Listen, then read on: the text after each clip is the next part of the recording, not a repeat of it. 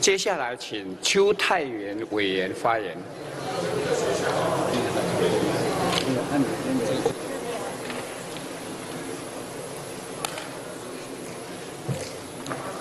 主席、各位委员同仁、各位全国的同胞们，我们这次的严重特殊传染性肺炎，也就是俗称的武汉肺炎的防疫工作，到现在为止，可以说是防疫的工作可圈可点，已经是世界各国，尤其在我们的医疗界所非常肯定，是一个非常难得的一个奇迹。我想，我们必须全民再继续来巩固这样防治的一个成果。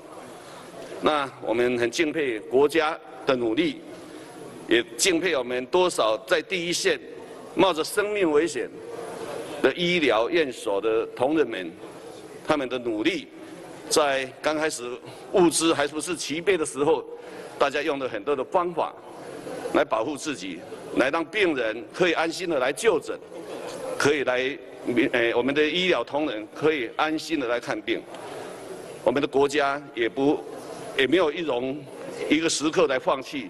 我们的增加了很多的物资，让我们在慢慢的增强了我们防疫的力量。我相信，国家的力量可以带带给我们防疫的工作更加的完整。当然，这中间我们全国的民众的配合。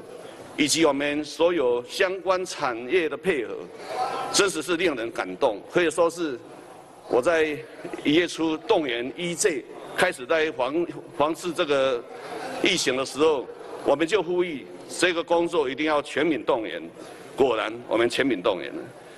那么，所以更敬佩的，就是我们的国家、我们的政府，很负责任的来提案，来防治我们的疫情跟纾困。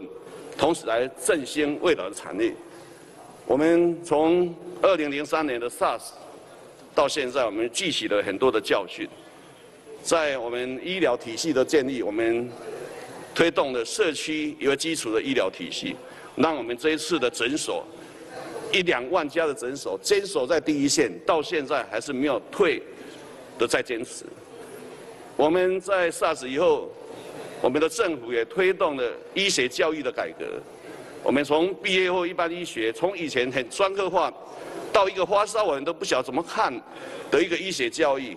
这二十年来，我们让所有的医学系毕业生，还有包括其他医师人员的训练，让他们能够有全人、全家、全社区照顾的模式。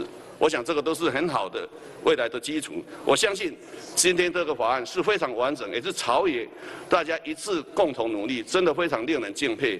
那这里面相当的周全，各方面都有顾及到，所以请大家全力来赶快通过行政案、行政案版的法案。谢谢。